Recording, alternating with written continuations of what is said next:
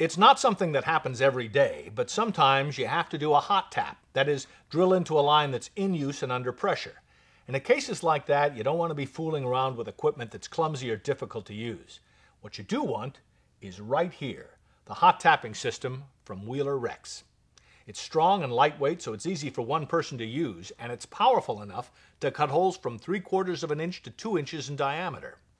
Use it on steel, copper, cast iron, ductile iron, or plastic pipe at pressures up to 250 psi. The Wheeler Rex hot tapping system comes in two standard models. Model 8100 comes with 3 quarter inch and 1 inch high speed steel cutters and adapters to fit NPT threads. And the Model 8200 comes with the same size cutters and adapters designed for use with flared CTS ends.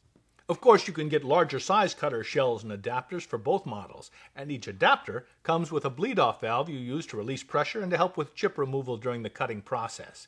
The whole system is designed for easy manual operation. You just choose the right adapter for the valve that you're using. It even comes with a toolbox for quick and easy storage.